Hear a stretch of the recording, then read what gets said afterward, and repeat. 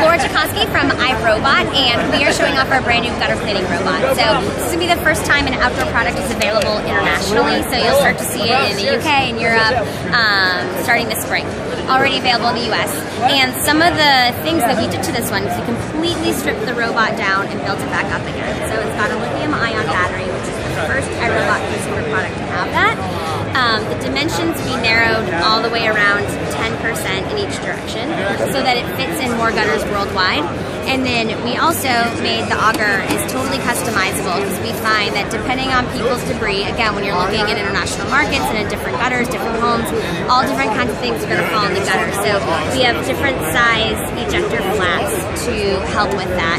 And you can switch them out. And then the breaker ends can also come out too. So that's your first point of contact with debris. So um, just a good way to customize it, things like that. And something with the robot is we found, um, you know, you climb up and the handle becomes a wireless remote control and people just like to play with it. So Oh, yeah. having different parts to switch out just makes it a really cool uh, tool to work with. So um, you can put it on your belt clip, climb up the ladder, stick it in, all you know, hands free. And this, when you the handle comes off and becomes a wireless remote control. So the robot's on and make sure that the auger is switching the direction so the debris flies away from the house. And just because I want to play with it, I'm going to use manual mode and drive it forward. And it's flinging all this trash out.